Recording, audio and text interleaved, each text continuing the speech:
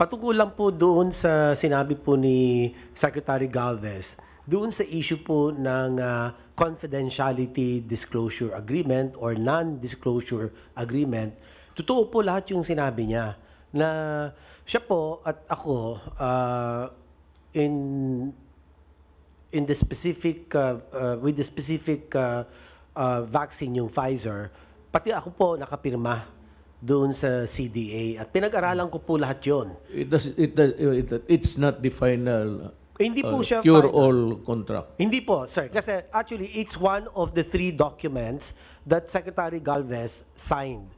As the official representative of uh, the government, he signs into the CDA with the various vaccine manufacturing companies.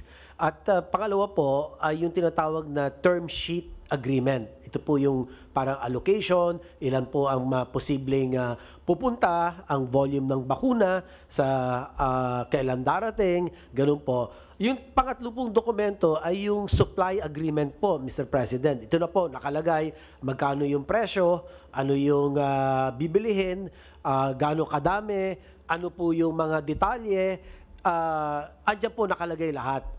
Pero while we, kami po ay nasasakupan nung ah, confidentiality disclosure agreement, eh hindi po talaga kami pwede magsalita kung ah, magkano yung ah, mga ah, figures o yung halaga, yung mga data, yung volume, yun po. So, y- yun lang po ang masasabi ko. Talagang ah, nagpupursigi po at nagpupunyagi ang inyo pong mga opisyal, ah, Mr. President, na maging maayos po ang lahat ng ating negosasyon at ah, pagka ito po naman ay ah, nag-umpisa na yung bakunahan, ah, na-roll out na po natin, eh yan naman po lalabas din sa publiko. Lahat-lahat po ng ah, napag-usapan which was initially covered under the ah, ah, provisions of the CDA at saka yung mga iba pa pong mga dokumento.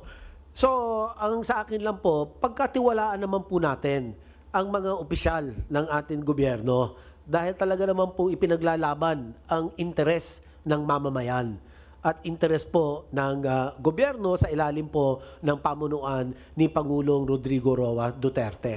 At ah, siya si Pangulo po mismo ang talaga naman nagkakampyon ng ah, tinatawag natin ah, maayos na pamamahala or governance that is characterized as uh, uh, one uh, with uh, accountability, transparency, at uh, talaga pong uh, yan ang uh, pinangangalagaan uh, ng atin pong uh, Pangulo at ang kanyang administrasyon. So, maniwala po kayo, magtiwala po kayo sa inyo pong uh, gobyerno at uh, ginagawa po natin ang lahat para maisulong ang interes po ng taong bayan.